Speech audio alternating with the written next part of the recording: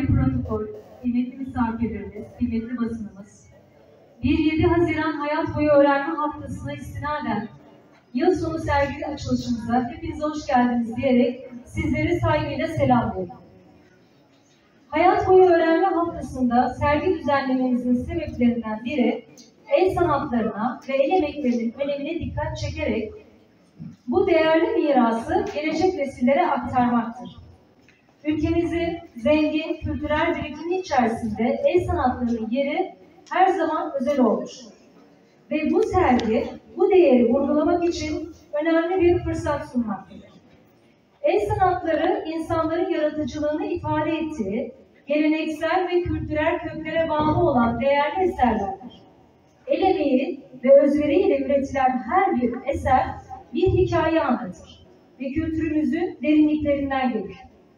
Pazaryeri Halk Eğitim Merkezi olarak bu yıl unutulmaya yüz tutmuş sanatsal kültürümüz olan yorgancılık, sepet örücülüğü, çömlekçilik ve bıçak yapımı kurslarını açarak bu değerleri gelecek nesillere aktarmayı misyon edildi.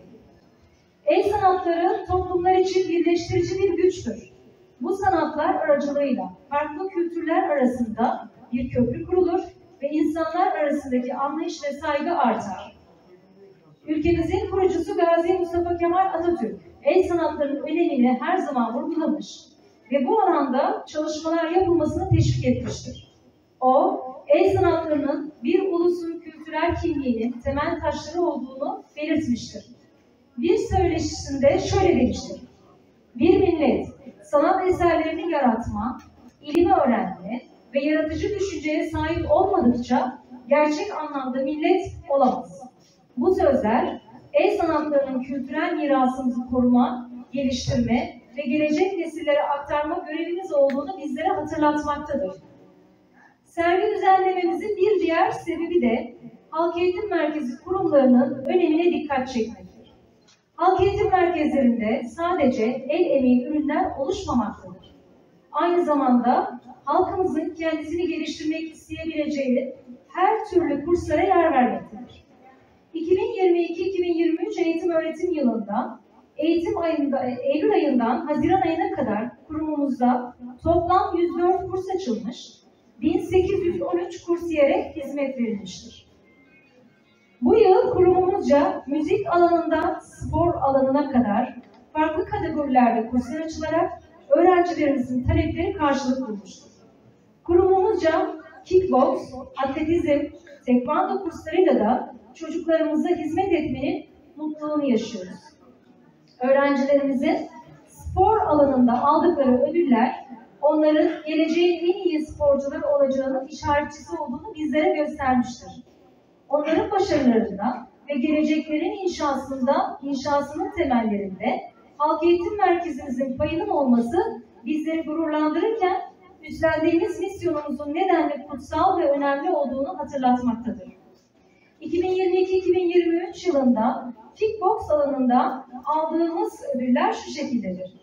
Türkiye Yıldızlar Okullar Kickbox Şampiyonası 69 kilogram üstü yıldızlar point fighting branşında Türkiye üçüncülük, 84 kilogram kick light contact kategorisinde Türkiye üçüncülük, 47 kilogram minik erkek kategorisinde point fighting branşında birincilik, 47 kilogram minik bayan kategorisinde point fighting branşında birincilik, 84 kilogram genç erkek kategorisinde kick light branşında birincilik, 70 kilogram genç bayan kategorisinde full kontak branşında ikincilik, 46 kilogram yıldız bayan kategorisinde point fighting branşında ikincilik, 69 kilo yıldız erkek kategorisinde kicklight branşında üçüncülük, 60 kilo genç bayan kategorisinde kicklight branşında üçüncülük, 28 kilo minik erkek kategorisinde point fighting branşında üçüncülük, 42 kilo minik bayan kategorisinde point fighting branşında üçüncülük, 32 kiloda 1 ve 37 kiloda 2 adet minik bayan kategorisinde point fighting branşında üçüncülük, Türkiye Kickbox Şampiyonası Kocaeli 70 kilogram ve üstü genç bayanlar kategorisinde low kick branşında Türkiye ikincisi ve üçüncülüğü, 57 kilo genç erkekler light contact branşında e, Türkiye üçüncüsü oldular. Sivas Türkiye Okullar Arası Kickbox turnuvası Point Fighting 65 kilo genç bayanlar Türkiye için ikincisi. Point Fighting 84 kilo genç erkekler ise Türkiye üçüncüsü. Eskişehir Porsuk Kapalı Spor Salonu'nda düzenlenen kickbox teşvik müsabakasında 5 öğrencimiz madalya, 3 öğre birincilik madalyası, 3 öğrencimiz ikincilik, 5 öğrencimiz de üçüncülük madalyası kazandılar. Türkiye Kickbox turnuvası Ordu 84 kilogram genç erkekler kickbox turnuvası kategorisinde bir öğrencimiz Türkiye üçüncüsü oldu. Atletizm alanında da Bilecik ili okullar arası lise genç erkekler 5 kilometre cross yarışmasında bir öğrencimiz ilk ikincisi olmuştur. Halk Eğitim Merkezimiz mesleki ve genel kursların dışında lise mezunu öğrencilerimize de ücretsiz dershane eğitimi sağlayarak onların geleceğe hazırlanmasına destek olmuştur. Bu yıl üç farklı dersten DYK kursu açtık. Öğrencilerimize girecekleri sınavlarda da başarılar diliyoruz. Eğitim Merkezimizde aynı zamanda manevi dünyamıza yönelik kurslara da yer verdik. Kurumumuzda Elif Bağ ve Kur'an-ı Kerim okumaya yönelik kurslar da açtık.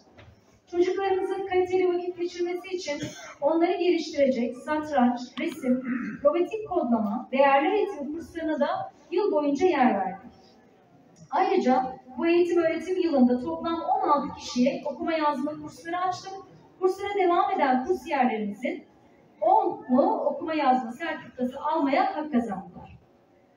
Halkımızdan isteğimiz, halk eğitim merkezlerinin bu nimetlerinden faydalanabilmeleri için kendilerine biraz zaman ayırmalı.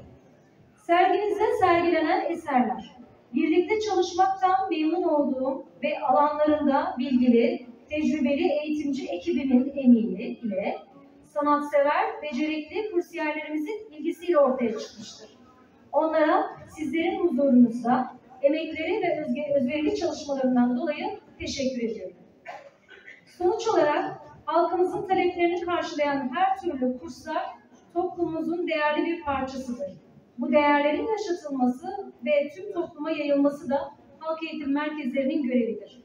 Sözlerime son verirken, bu kutsal görevimizi gerçekleştirirken işimizi kolaylaştırıp her zaman desteklerini bizden esirgemeyen başta Sayın Kaymakamımız, Sayın Belediye Başkanımız, Sayın İlçe Milli Eğitim Müdürümüz ve siz değerli konuklar hepinize teşekkür ediyor, saygılar sunuyorum.